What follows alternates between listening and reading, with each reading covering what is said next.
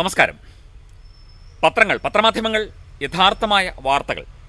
അത് ജനങ്ങളെ അറിയിക്കുന്ന മാധ്യമങ്ങളാണ് അല്ലെങ്കിൽ ജനങ്ങളെ അറിയിക്കലാണ്. ജനങ്ങളെ സത്യവും അതിന്റെ നേരായ കാര്യങ്ങളും ജനങ്ങളെ അറിയിക്കുക എന്നുള്ളതാണ് ഒരു മാധ്യമ ധർമ്മം.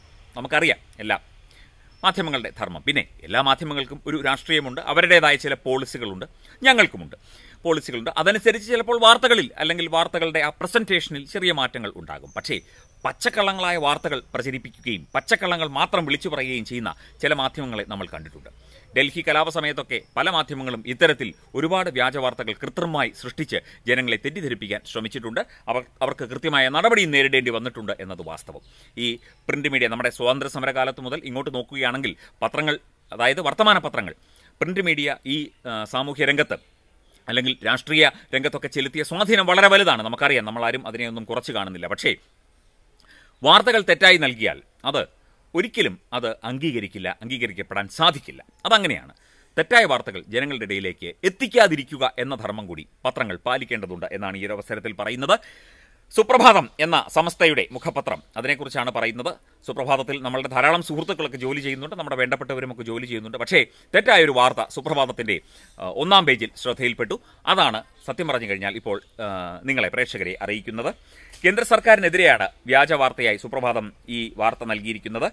കേരളത്തിൽ ഈ കലാപങ്ങളും വർഗീയ സംഘർഷങ്ങളും ഒക്കെ എത്രയോ കാലം മുമ്പ് ഇതൊക്കെ നടന്നിട്ടുണ്ട്. പക്ഷേ ഇപ്പോൾ അത്യാവശ്യം സമാധാനമായി കഴിയുന്ന ഒരു പ്രദേശമാണ് കേരളം. കേരളത്തിൽ ഇത്തരം കലാപങ്ങൾക്കുള്ള ഒരു പരോക്ഷ ആഹ്വാനം കൂടി അല്ലേ ഈ ഇത്തരത്തിലുള്ള വാർത്തകൾ ഉണ്ടാക്കുക എന്ന ഒരു സംശയം പൊതുസമൂഹത്തിനുണ്ടായാലും നമുക്ക് തെറ്റ് പറയാൻ സാധിക്കില്ല. പൗരത്വ നിയമം സംസ്ഥാന സർക്കാർ സംവിധാനങ്ങളെ ഒഴിവാക്കി കേന്ദ്രം സർവേ തുടങ്ങി എന്നുള്ളതാണ് സുപ്രഭാതത്തിലെ പ്രധാനപ്പെട്ട ഒരു വാർത്ത. അല്ല എന്ത് സർവേയാണ്? സുപ്രഭാതത്തിന് മാത്രം അറിയാവുന്ന സർവേ? സുപ്രഭാതത്തിൽ കേന്ദ്ര ആഭ്യന്തര സെക്രട്ടറിയുടെ ഓഫീസിൽ നിന്നോ അല്ലെങ്കിൽ അത്തരത്തിലുള്ള ഔദ്യോഗിക പക്ഷത്തു നിന്നോ ഉള്ള ആരെങ്കിലും സുപ്രഭാതത്തിന്റെ ഡെസ്കിലുണ്ടോ? ഞങ്ങൾക്കറിയില്ല. എങ്ങനെയാണ് ഈ വാർത്ത അറിഞ്ഞത്? അല്ല ഇതെന്ത് വാർത്തയാണ്? സംസ്ഥാനങ്ങളെ ഒഴിവാക്കി കേന്ദ്രം ഈ പൗരത്വ നിയമ ഭേദഗതിയുമായി ബന്ധപ്പെട്ട സർവേ തുടങ്ങി.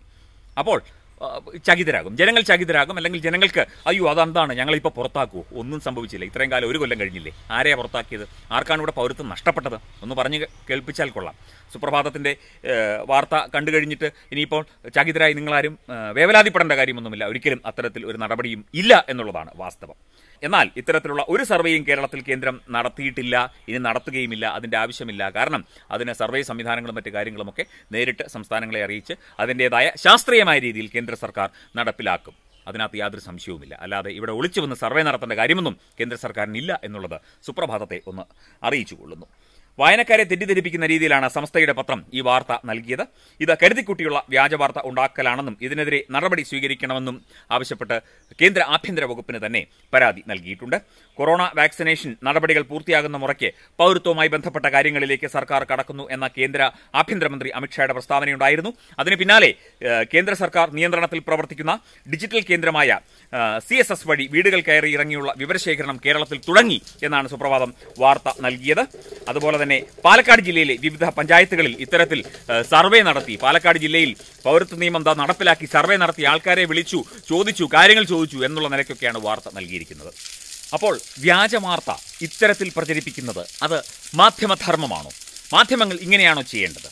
ഇതാണോ മാധ്യമധർമ്മം? അതായത് കേന്ദ്ര സർക്കാർ ഒരു നിയമം കൊണ്ടുവരുന്നു. അത് നമ്മുടെ നാട്ടിൽ അടക്കം എല്ലായിടത്തും നടപ്പാകും. അതാണ് കേന്ദ്ര ആഭ്യന്തരമന്ത്രി പറഞ്ഞത്.